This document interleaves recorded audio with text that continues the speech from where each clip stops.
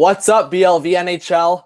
It's me, John, and I'm here with the one and only Fitty Trent. And we are here to recap the first of three recaps tonight with the Senators and Habs.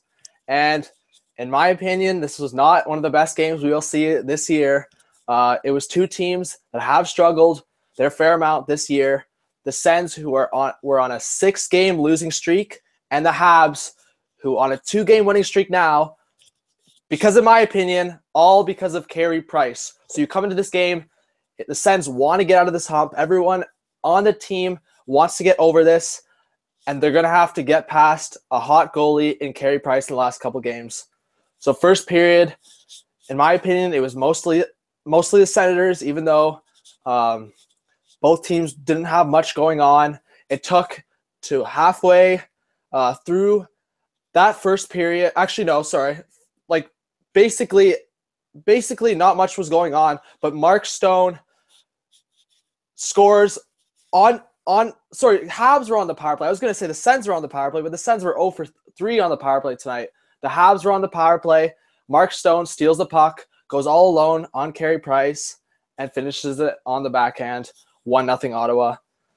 Like I said, it was mostly Senators, even though there was not much going on. But that was just in my opinion. They had probably a little bit of that edge. But you know, Carey Price, he's going to keep the Habs in it, and it's just going to take that one goal from the Habs to get them back in the game, and that's all it took. Jonathan Drouin broke out through the neutral zone, got past the defenseman, gets hooked. It was it was kind of like a hook trip. You you can call it what you want. He gets the penalty shot. Mike Condon who hasn't been that great this year, who basically saved the Sens season last year. Jonathan Drouin comes up, low left side, off the post and in. You got a 1 1 game. Like I said, Carey Price is going to keep you in the game. And it just takes one opportunity like that, and Montreal ties the game. It's 1 1. Then I will give it to Montreal. That second period, they started actually doing something. I do like I even though I'm a Leafs fan and I will hate on the Habs, they suck either way. They have not been doing well, and they've only been doing well the last couple games because of Carey Price. But you know what? That second period, they were they were aggressive. Pacioretty, Shaw, and Danault, those three guys were the best were the best line in that second period, and they're the line that would score. Pacioretty on the forecheck, Pat taps it over to Shaw. Shaw kind of like dabbles with it at the boards there, and then he finally reverses it back to Danault right in front, and Danault uh, slaps it in for a 2 1 Habs lead. And obviously, that's how it would stay. The Sens could not finish in that third period. Carey Price was lights out completely. I did miss a little bit of that third period because I was so focused on the Lightning Bruins that we're going to recap after this. That was an insane game. Uh, but like I said, what I watched in that third period, the Senators could not finish, and that is solely on the matter of Carey Price. The Habs were so sloppy. They had four guys hammed into that corner trying to shut them down, but the Sens would still get the shot off, and it was Carey Price who shut them down. The Sens had three shots in that last six seconds, and Carey Price flashed his glove a couple times. So you know what? The storyline for me tonight was again Carey Price Carey Price shut the Senators down. Montreal won 2 1. And Montreal also missed two empty nets that Trent laughed about with me over our group chat. But now I'm going to hand it over to Trent. Trent, what are your thoughts on this game? I, I mean, I agree with you. This game was nothing overly exciting. You know, this was one of the fan picks. And yes, usually you only get one pick if you're a fan. Like, because on Wednesdays and Saturdays, we do the fan picks. But this was so close. It was like 39% to 41%. So we're just like, screw it. Let's do both like games. Do the Winnipeg Jets versus the Colorado Avalanche and do the Montreal Canadiens versus the Ottawa Senators because it was so close. So lucky you guys got three games tonight. This was the one that you guys were so close at picking for being your fan pick. So we decided to go with it since John saw most of the game. And, you know, from what I saw, I didn't get to see most of the game either, but honestly, from what I saw, I think John nailed it right on the head. It was very unexciting. It was very not very thrilling. As he said, Carey Price definitely held them in that game if you were a Montreal Canadiens fan, which on my shirt, I mean, if you know me, that is my second favorite team because my mom was actually born in Quebec. So, you know, by by blood, it has to be my second favorite team at least, you know. So it's the kind of thing where like I've always loved Carey Price, but Carey Price proves night in and night out he is the only player for the Montreal Canadiens. I mean, a couple years ago when he got injured and the Montreal Canadiens were undefeated until he got injured, and then they ended up missing the playoffs because they were doing so terribly without him. They only won like 20 more games for the rest of the season or something like that without Carey Price. So it was the kind of thing where, yeah, Carey Price, you know, he's proving that he is the only player to really get it done. Shea Weber did not play tonight. I know a lot of people think that Shea Weber has been one of the best players in Montreal Canadiens. He's next to being the only other player on the Montreal Canadiens. I mean, when he was brought in last year, it was basically like he had to be given everything because they had no defenseman. He had to be the offensive defenseman and the defensive defenseman and the best two-way defenseman. So he kind of had all the pressure on the world against him, and he had to do everything and anything in his power. But he didn't play tonight. The rest of defense tonight, I mean, some of them played okay. I mean, Carl Alzner, I know that we've been really hard on him this season. Tonight, he had one of his better games, though, with four big block shots. He had three hits, he had three shots on goal. You know, Jordie Benn t- played an okay game. He had a couple hits. Besides that, Justin Morrow looked like he had the best game of his entire career. That's not saying much because he sucked so long in the entire NHL. But tonight, he actually had three shots on goal, three hits, and he looked okay. Jonathan Drouin, I mean, he's just not fitting correctly yet with the Montreal Canadiens. It's still taking him a little bit of time to grow. He's playing at that center position, which he never played with Tampa Bay, as we always said. He played one year with the Halifax Mooseheads as a center, but that's only when Nathan MacKinnon ended up getting drafted and playing with the Colorado Avalanche during his first year, and the Tampa Bay Lightning dropped him to the minors. So that was his one year only year playing that center position. And honestly, tonight you can look at him and say, yes, he had almost 90% on the faceoff draw, but that's just because honestly, Montreal dominated the Senators on the faceoff draw. I mean, you look at the stats and they had won 65% of the draws compared to Ottawa's 35. Usually Ottawa's a pretty good like center depth team with players like Zack Smith, you know, Derek Brassard, the addition of Matt Duchene. But tonight, you could really see that they weren't feeling it. They weren't doing very well on the puck. They weren't doing very well whatsoever you know, John and I were talking about how inconsistent Matt Duchene has been with the Ottawa Senators going into, you know, getting traded from the Colorado Avalanche to the Ottawa Senators. He had 10 points in 14 games, which on a team that was the worst team in the NHL last season, that's something very, very well to talk about, especially when you had Kerfoot and Yakupov, the struggling player, beside you, you know, a rookie that's not done anything. You're helping him out, and then you're helping out the first overall draft pick who ended up being a bust. I mean, you know, he had a big future. Coming into Ottawa now, he has one goal in nine games played. He just looks very slow, looks very inconsistent, looks very out of place there with the Ottawa Senators. And to prove my point about how poorly they played tonight, Zack Smith was their leading shot taker with five shots. Zack Smith is that kind of guy that takes about two shots every single 20 games. He's that good penalty killer. He's that good guy in the faceoff. He's not the shot taker. So if he's the one that needs to take shots for you guys, you know that you're in trouble. And Carey Price, back from injury, looking absolutely great tonight. Trent, man, you said it, buddy. You said it, and it's I, am smiling because it's, it's it's kind of I'm just laughing in my head. Me and Kev talked about it. These two teams right now, there's there's no cohesion. This team, these two teams, Montreal is basically all Carey Price. Ottawa is supposed to be a lot of Erik Karlsson, and Erik Karlsson right now is um, he. You could say it's his ankle, or you could say it's no one's helping him. But either way, like you said, Zack Smith was their leading shot taker. Matt Duchene, their power play was disgusting in like a horrible way tonight. They were 0 for 3. They were doing nothing. Uh, for some reason, they, they're trying to change it up, and I think they just made it worse. They usually have Mark Stone in front of that net, trying to go for the tip, trying to go for the rebound. Tonight, they had him on the point for some reason with Alex Burrows in front.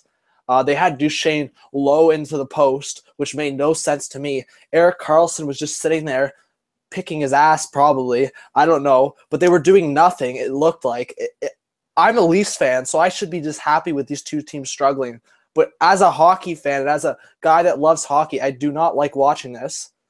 Um, I spent my time watching a lot of this game, and it was not something that I liked. The only thing I took out of this game is, like I've said a couple times, is the fact that Carey Price was lights out. Um, I think he had about 29, 30 saves. Uh, I could be wrong. It was about there. But uh, without him, it would have been the Sens who probably would have won 3 2 or 2 1. Um, and that's still a low scoring game. That's still not to be so crazy about. The Sens should be better than this. Um, I like I said before, I do not like their offense, how it's constructed together, especially with the Duchene accusation uh, equation. Um, you have Duchene at the top, then you have the second line, Bobby Ryan. They're pretty similar players. There's not much there. Now you have Zack Smith, who's supposed to be that good third line center. Now he's on your left wing, on your second line. I don't know what that's adding to it. Um, their bottom six is nothing good at all. And their defense, I think they need a change. I think they need to bring up Thomas Chabot. I think they need to add that sauce, like like Mitch says. I think they need to add something more sexy. So I think they need to get Thomas Chabot up. I think they need to make a better. They lost Kyle Turris. What they should have kept. They need a two-way forward. They have no forward that is a good two-way. Their closest to a two-way is like you just said, Zack Smith, and Zack Smith is one way. He's a defensive, responsible forward. He does not bring offense. And tonight he was trying to bring offense because the Sens are clearly in desperate need of some offense. They had Mike Condon in. Like like I said, he's been struggling, but he did his job. He only allowed two goals, one on a penalty shot. So tonight, um, I think the Senators they're seven straight without a win. Uh, I think they need to bring up Thomas Chabot. I think they need to bring something to bring this lineup back together and not depend on Erik Karlsson because right now Erik, half of Erik Karlsson's ankle is still sitting in the garbage. So I don't even know if his ankle is going to grow back properly. But you can't just depend on Erik Karlsson. They have their top line of their three skilled guys, and Matt Duchene sucked. So other than that, they need to maybe spread that out. Um, hopefully, they start heating up. And with the Habs, I don't think the Habs are. I don't think you're going to see any different from the Habs. They've been without Shea Weber the last few games, but that team will only make the playoffs. Only make the playoffs if Carey Price plays the next 40, 50 games. Like literally, without Carey Price, the Habs are garbage. I'm sorry. Trent, your second favorite team with the Habs. And actually, I didn't know that, that you had the background story. But the Habs as a team, and you said it with Jonathan Drouin, he's not a natural. I mean, he could probably adapt as a centerman. And I've talked about that trade. The PK Subban and Shea Weber trade, that's like a trade like Shea Weber's career is going to be over soon enough. So it's like there's not much of a future to look at that trade. But with the Drouin for Sergachev, they're both in the early stages of their career. So we still have so long to analyze that trade into the future. But right now, Tampa Bay has definitely won that trade. Montreal needs an offensive defenseman, and I will keep repeating myself. They, their defensemen are too slow. Their most mobile defenseman is Victor Mete, who might they might end up sending down uh, for the Canadian World Juniors. So I don't know. I've talked enough. Do you want to add anything else to this? Basically, the storyline for tonight was Carey Price, but anything else? Uh, very well said there, John. I mean, to add to your point, if you guys are curious about Thomas Chabot, I mean, he came into the season, only played the first five games with the Ottawa Senators, but during those first five games, the Senators were undefeated or they only lost a few games in overtime if they did lose any games. And he had three assists in five games played. He's only 20 years of age. And you look at the rest of their defensive core, and honestly, I'd rather have Chabot over a guy like, you know, Dion Phaneuf personally, even though that Dion Phaneuf used to be a little bit better. You know, I'm sure that John really knows a lot about Dion Phaneuf with him being that ex-captain with the Toronto Maple Leafs. For me, you know, he's kind of starting to move down a little bit in the rankings. Johnny Oduya, I don't think is a very good pairing. They play a lot of Johnny Oduya with Erik Karlsson. I think that's a very, very poor pairing personally. I liked Marc Methot last year because he had the good offensive and the good defensive defensemen balancing off of each other, but I don't think Johnny Oduya is a good enough defensive defenseman to help out that Erik Karlsson. I'd rather have a Chabot, you know, a guy that's, you know, a bit younger at 20 years of age, still has a lot of potential left in him and still has a lot of room to grow. To add to your point that they really have no depth when you look at their bottom six and continuing with the Ottawa Senators, looking in their minor leagues, they really have no one else to call upon if they do end up getting an injury or anything like that.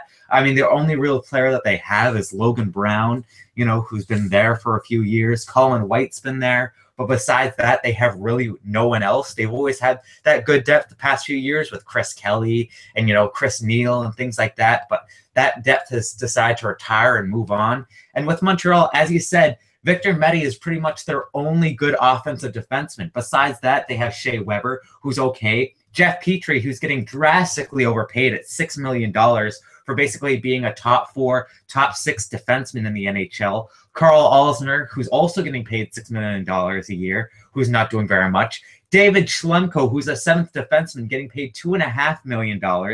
Jordie Benn, who's basically a good like sixth defenseman, getting paid a million dollars. And then you look at their minor league team, and they literally have no one. I mean, they had Charlie Lindgren, they have Zachary Fucale in goal, but they really have no one in their like minor league that could come up and really step up for the Montreal Canadiens at forward. Because you look at their forwards, and they have so many older players. Thomas Plekanec, almost 34 years of Yeah, age. Trent, no man, that guy is done. They, Montreal has no one. Like that's the problem. Plekanec just is like so done. I mean, Pacioretty is like in the now, but he can't help out at all. Um, like because they they have no depth. Same with Ottawa, they have no depth. Um, and I think they sh- back to Ottawa. Um, Freddie Claesson to me has been a real good defenseman for the Senators this year. When Karlsson was hurt at the start of the year, he was their best defenseman. Tonight, he had four hits. So you look at that guy; he's defensively sound. On that on that Sweden uh, trip for them, he he had a couple points. He scored a goal. Um, he's been probably one of their best players, and that's surprising because that guy, to me, last year was like a bottom pairing guy. You weren't going to see much other than that. Uh, but in my opinion, I look at it as neither team has depth, man. No, neither. I think Montreal, for my opinion, is in such a bad situation because you have Carey Price, who's still considered in his prime, but they have nothing else. So, like, as a Canadiens fan, I would want to start over, but you can't start over with Carey Price in his prime, or else trade him, get the value back. But as me and Kev talked about in the NHL trade rumor video, which you guys should check out, that would be such a hard trade to make for Carey Price. Because one, Montreal would not get the value back that they wanted. And two, that's a hard contract to trade. I'm not saying that's Carey Price deserves every penny of that deal. 100%. But the fact is, the salary cap for a lot of teams is already tight. So bringing on a $10 million contract will be really hard. And so this situation to me, I want to see how it pans out. Montreal is not a team that can have a run. Carey Price can get them to the playoffs, but that is as, as far as he can get because there's no way Montreal can win a seven game series just riding off of Carey Price. There's there is no way. I don't know. Do you agree with me on that, Trent? Do you think that Carey Price can bring them to the playoffs? I, I like I think so, but like how far can he bring them? I, I think we've seen it for the past few years that Carey Price can consistently make the Montreal Canadiens get to the playoffs. But I completely agree with you that Carey Price is only one man. He can only do so much. I mean, we're seeing it right now also with the Edmonton Oilers with Connor McDavid. Everyone thought that Connor McDavid would be able to lead them to the playoffs, lead them to that Stanley Cup final this upcoming year. And the Oilers are struggling. They're not doing very well because Cam Talbot's not pulling his weight. Leon Draisaitl, you know, he's not the same Leon Draisaitl that we saw last year doing absolutely amazing on that second line. You know, he's still doing okay. He's still doing decent, but he's struggling a little bit. And McDavid, yes, he's still a point of game player, but he's only one player. Every single team needs to have more than one player. I mean, look at the Pittsburgh Penguins at what they've had for the past few years, winning that Stanley Cup dynasty. They had Crosby at the first line, they had Malkin on the second line, they had great defensemen like Justin Schultz stepped up. They had Chris Letang. They had two great goaltenders in Marc Andre Fleury and Matt Murray, two great starting goaltenders at least. You know, you could maybe argue that Matt Murray has now become to become an elite goaltender. Maybe it's a little bit early to call him that, but honestly, they've both been so solid. And you know, Carey Price, maybe it is time for him to move on. I mean, he's going to be making, as you said, on average, ten and a half million dollars a year for the next, you know, five years. I think is the contract. And you look at the teams that can, you know, sign up that contract. There's only two teams that can take that without the Montreal Canadiens taking some cap back. And those two only teams are the Arizona Coyotes, which you're not going to go and win a Stanley Cup there because they have a lot more problems, not just in goal. And then the Carolina Hurricanes, who, yeah, you know, they're starting to build up better with being better defensively, and their fours are slowly starting to grow. But still, I mean, I don't think Trent. that you're going to go to either one of those teams and win a Stanley Cup. Yeah, Trent. That, that's actually funny that you mentioned the Hurricanes because uh, they're a team. I watched them against the Leafs Friday night. Uh, the Leafs beat them five four, but the Hurricanes could have should have won that game. The only reason they lost that game was because of goaltending. So it's kind of interesting you bring that up. I, am not gonna I'm trying to stir the pot there, but like um, the Hurricanes, they need a goalie. Um, and I Montreal hate that needs defense, which Carolina has tons of. Carolina does have tons of. Um, I don't know, man. I just I feel bad for teams like the Hurricanes. They're actually a well structured team. They just they don't have goaltending. Where where Montreal's the exact opposite. Montreal all they have is goaltending. Uh, when Carey Price is healthy, he can bring them a, a long way. I just I hope for Carey Price's sake that his career doesn't get any more wasted than it already is. So it's I I have we've talked about it so many times. In my head, I have no solution for Montreal but to restart. Uh, like I said, they basically only have two players in Pacioretty and Gallagher, or three with Drouin, sorry, and all their defensemen are slow besides Victor Mete, and then all they have is Carey Price. So like when I think of that, when you look at that, and you basically have no prospects and no system, that basically says restart all over it. But like I said, the problem is what do you do with Carey Price? You don't want to waste the guy's career. Uh, do you want to add anything else to the game, Trent? Um, I, to me, in my opinion, I'm really excited to recap this Lightning Bruins game. Um, I have a lot to talk about it. We have a, we had a lot to talk about in this, but I think we have a lot more to talk about in that game. A lot more positives, in my opinion. Absolutely, very well said there, John. Don't you guys go anywhere. You know, it will be about like 10, 15 minutes. We'll have to set up, we'll have to get Austin. And every single time that we get Austin, it seems like he can't hear us, but yet we can hear him. So it's the it takes of a bit. We need like a five minutes to go. Hello. Hello. Are you there? Are you there? Are you there, Austin? Are you there? Hello. Eventually he'll exactly. Exactly. It'll be a little while. But, you know, we will be setting up for the second recap. And you guys get three tonight because if you just showed up near the end, I mean, you know, we were talking about how the poll was so close that we decide why not do two games because the poll was that close. So we can't do that every single night, but, you know, who knows? Maybe we'll be able to do some more cool anything NHL things working up in the channel. I was talking with the guys yesterday, and John and I are actually going to be doing a live watching Reaction a game video live reactions. and Leafs Saturday night. Canucks and Friendships Leafs. are gonna get lost. Friendships are gonna like John and I are gonna be at each other's oh, throats. Oh, it's not going to be friendly. It's not going to be friendly at all. so be sure to come to back. on tune in. Yeah, come back on Saturday and tune into that because it's gonna be a lot of fun with John and I yelling at each other at full capacity. Oh wait, and there's one more thing. Hit the subscribe button.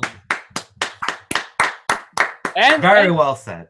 and you know what? We're at 2,000 and something followers on Twitter. Can you guys hit the follow button? Because a lot of people don't know how to connect Twitter to YouTube these days. It's not that hard. Hit the YouTube channel link, get to the channel, subscribe, like, and comment. Those are three things we want you to do, and we'll give you the content you need. Just give us suggestions. So, you guys that are tuning in right now, we're going to do the Lightning and Bruins video, and hopefully, like max 10 minutes. I'm saying max 10 minutes. I'm saying 10 minutes because, like we said, it takes a couple minutes to get Austin in here. But Austin's our special guest because it was his Lightning tonight, but he might be upset. He might cry. So, tune in. If you want to watch Austin cry, please tune in. I couldn't say it better myself there, John. All of us here at the BLV, peace out, everyone. Peace out, boys and girls.